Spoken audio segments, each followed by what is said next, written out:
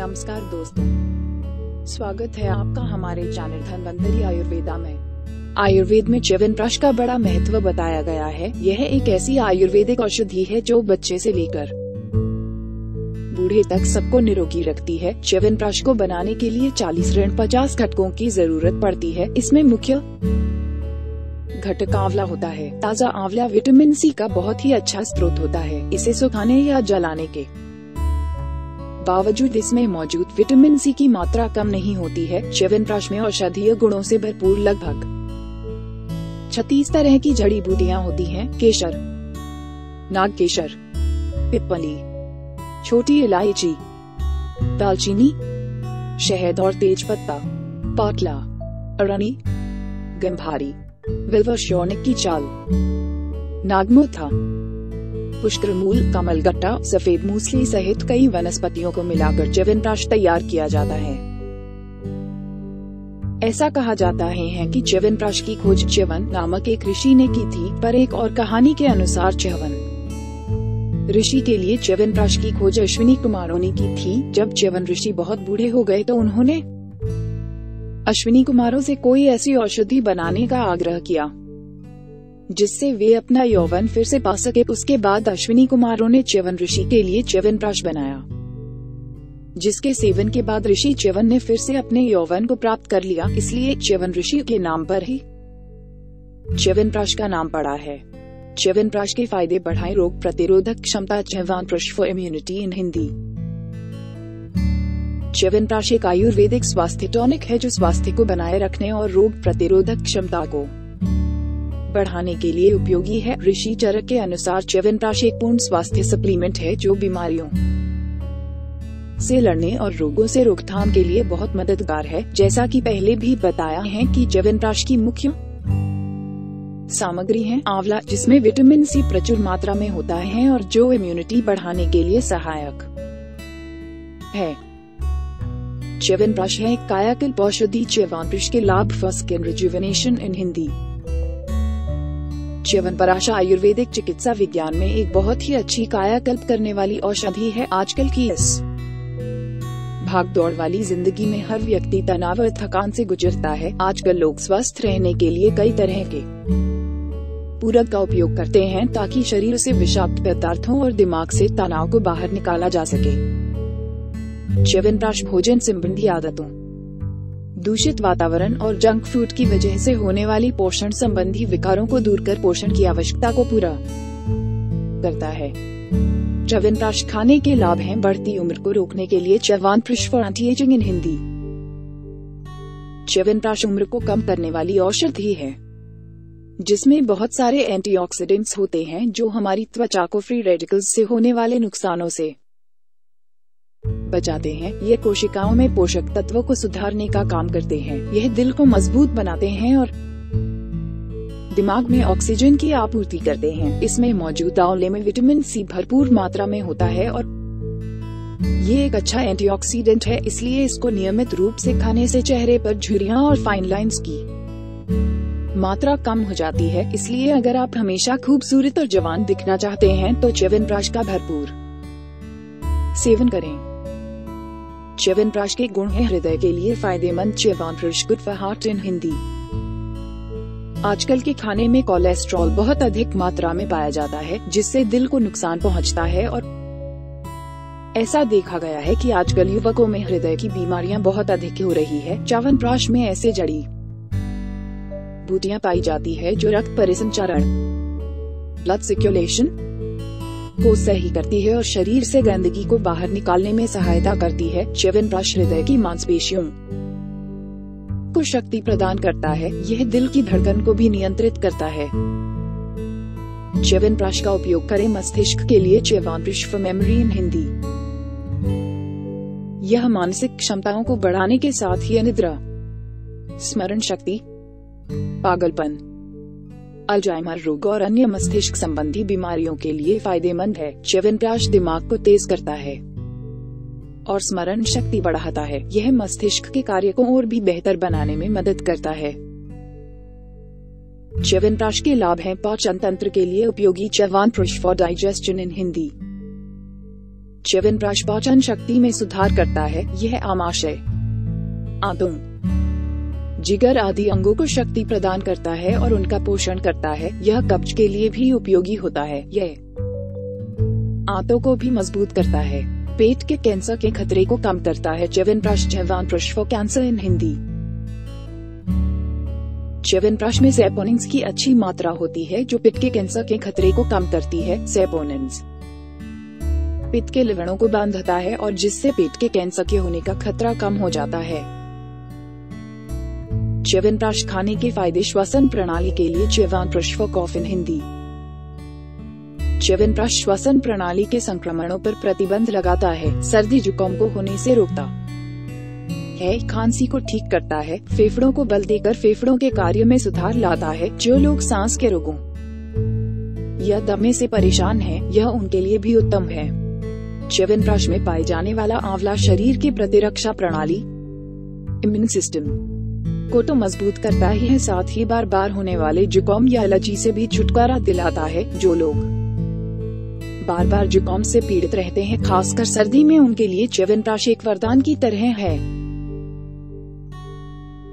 च्यवन परास रखें, त्वचा को चमकदार Chyawanprash benefits for skin in Hindi Chyawanprash पोषक तत्वों और विटामिन सी से पूर्ण होने की वजह से त्वचा को निखारता है और चमकदार बनाता है। इसके रोज सेवन से साफ़ और चमकदार त्वचा प्राप्त होती है। च्यवनप्राश करें, त्रिदोष को संतुलित च्यवनप्राश के फ़ायदे फॉर ट्राइडोशर इन हिंदी। च्यवनप्राश शरीर के तीनों दोषों, त्रिदोष बात पित्त कफ को संतुलित करता है। हालाँकि इसका विशेष प्रभाव पित्त दोष पर होता है और यह पित्त दोष को ठीक करने में मदद करता है, पर यह सभी दोषों में संतुलन बनाकर शरीर और मन को स्वस्थ व निरोग रखने में सहायता करता। है। च्यवनप्राश का सेवन है पुराने रोगों में लाभकारी Chyawanprash for disease in Hindi Chyawanprash एक रसायन औषधि है जो कोशिकाओं और उत्तकों का उत्थान रीजेनरेशन करती है और पुराने रोगों के उपचार में सहायक होती है। रोग अनुसार औषधि देने के साथ साथ यदि च्यवनप्राश का प्रयोग भी किया जाए तो यह उस रोग को और जल्दी ठीक करता है। च्यवनप्राश के अन्य लाभ other benefits of Chyawanprash in Hindi Chyawanprash के सेवन से शरीर की हड्डियों में कैल्शियम का अवशोषण बढ़ता है, जिससे हड्डियाँ और दांत मज़बूत होते हैं। च्यवनप्राश में प्रोटीन की मात्रा कम होती है। फिर भी यह शरीर में प्रोटीन के संश्लेषण को बढ़ाता है, जिससे मांसपेशियों में लचीलापन बढ़ता है। यह प्रजनन क्षमता को सुधारता है, महिलाओं में मासिक धर्म को नियमित करने में मदद करता है। गर्भवती महिलाओं में च्यवनप्राश हीमोग्लोबिन के स्तर हीमोग्लोबिन लेवल को बढ़ाता है और पोषक तत्वों की ज़रूरत को पूरा करता है। च्यवनप्राश में रक्तवर्धक गुण होते हैं, जिससे यह रक्त में हीमोग्लोबिन की मात्रा को भी बढ़ाता है। इसके अलावा यह खून को भी साफ़ करने में भी सहायक होता है। च्यवनप्राश घाव भरने की प्रक्रिया को बढ़ाता है। च्यवनप्राश की खुराक इन हिंदी च्यवनप्राश की खुराक व्यक्ति के पचाने की क्षमता पर निर्भर करती है। च्यवनप्राश की सामान्य औषधीय मात्रा। वह खुराक इस प्रकार है। शून्य सेकंड, एक साल की उम्र के बच्चों को च्यवनप्राश का सेवन नहीं कराना चाहिए। लेकिन स्तनपान कराने वाली माताओं के द्वारा इसके सेवन से बच्चे और माता दोनों को लाभ होगा। एक सेकेंड पाँच साल की उम्र के बच्चों को दो दशमलव पाँच सेकेंड पाँच ग्राम यानी आधा चम्मच दिया जा सकता है। छह सेकेंड बारह साल की उम्र के बच्चों को पाँच तो सात दशमलव पाँच ग्राम यानी कि लगभग एक चम्मच दिया जा सकता है। बारह साल से ज़्यादा उम्र के बच्चों को पाँच तो पंद्रह ग्राम यानी दिन में एक से दो चम्मच दिए जा सकते हैं। गर्भवती महिलाओं को च्यवनप्राश का आधा चम्मच ही काफ़ी होता है, पर गर्भावस्था के दिनों में दो चम्मच से ज़्यादा च्यवनप्राश लाभकारी नहीं माना जाता है।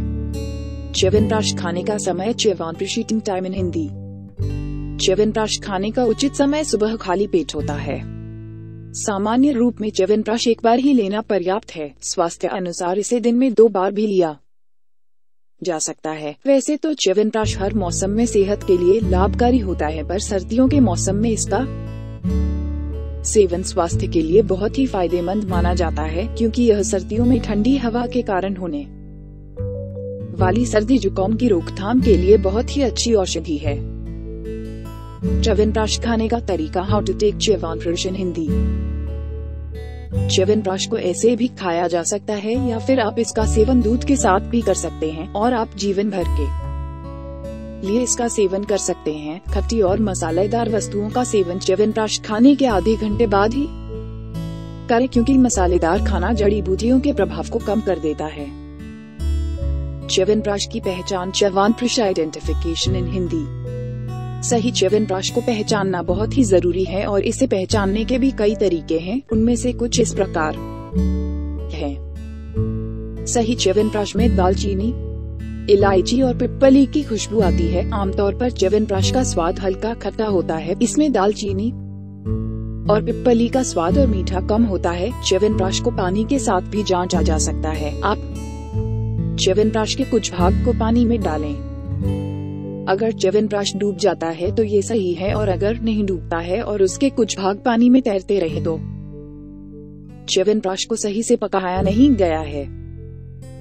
च्यवनप्राश बनाने की विधि how to make Chyawanprash at home in Hindi Chyawanprash को मुख्यतः 50 आयुर्वेदिक द्रव्यों को मिलाकर बनाया जाता है ताज़ा आंवला फल और सभी औषध द्रव्य को तेरह लीटर पानी में डालकर एक बड़े बर्तन में उबालें जब पानी का आठवां हिस्सा रह जाए तो आंवले के बीजों को अलग करें और आंवले के गुर्दे को अलग निकालें इस तरह बाकी बचे हुए पानी को छान कर सुरक्षित रख लें। अब आंवला के गुर्दे को अच्छी तरह से 300 मिलीलीटर घी और तिल के तेल में भून लें और जब घी तेल अलग हो जाए तो इसको एक तरफ़ रख दें। अब बचे हुए पानी को दोबारा गर्म करें और जब यह आधा रह जाए तो दो दशमलव पाँच किलोग्राम चीनी डालकर दोबारा पकाकर चाशनी बना लें। अब भूनकर सुरक्षित रखे हुए आंवला के गुर्दे को इस चाशनी में मिलाकर गाढ़ा होने तक पकाएँ। अब इस मिश्रण में 300 ग्राम शहद 200 ग्राम तुगाक्षरी 100 ग्राम पिपली 50 ग्राम तेजपत्र और 50 ग्राम छोटी इलायची और 50 ग्राम नाग केसर को मिलाएँ। इस प्रकार आपका च्यवनप्राश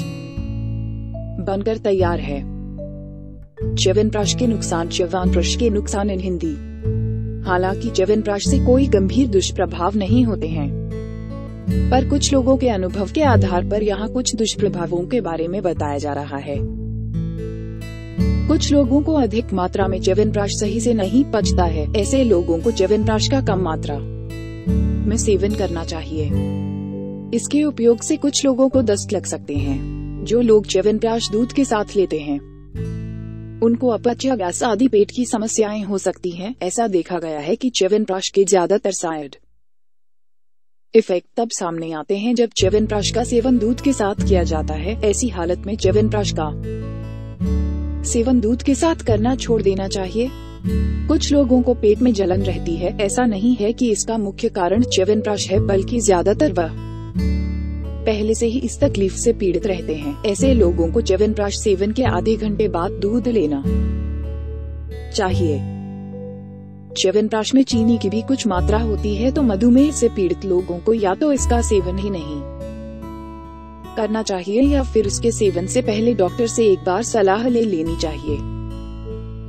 मधुमेह, गैस और उदर वायु, उदर का बढ़ना, रात में बार बार पेशाब जाना। पुरुषों में स्वप्न दोष आदि में च्यवनप्राश इन लक्षणों को बढ़ा देता है, इसलिए इसका इनमें प्रयोग हितकारी नहीं माना गया है। करता हुआ आपको हमारा ये वीडियो पसंद आया होगा। कृपया हमारे इस वीडियो को लाइक करे कमेंट करे शेयर करे और हमारे चैनल को सब्सक्राइब करना ना भूले। धन्यवाद दोस्तों।